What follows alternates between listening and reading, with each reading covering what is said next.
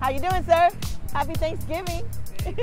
Thank you. I'm very excited to be out here at Solano County Fairgrounds, right in the heart of my district, District 11, to be able to give over a thousand turkeys away to families in need. And we're happy to not only provide a turkey, but all the fixing that goes along with it to ensure families have something to eat. And it's so special. I'm proud to partner with Food is Free Bay Area, as well as all the volunteers who showed up not only today in the rain to give out food, but also those that helped pack it just a few days ago. It's been a wonderful time. It's a wonderful season. It's a time of Thanksgiving and gratitude, and so glad that we're able to give gratitude back to our community by ensuring that people who need food get food. Happy Thanksgiving! Thank you. Happy Thanksgiving. Have a great day.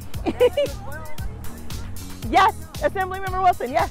We were able to get the word out everywhere and it shows because the line is extremely long and we're right across the street from Discovery Kingdom. The locals known it as Marine World, but the line is longer here than it is over there. And so, you know, that's a good thing. That's a good thing. I mean, it's it's hard because that means more people are in need, but good because we're here to actually serve them and give them what they need. Happy Thanksgiving, AD11.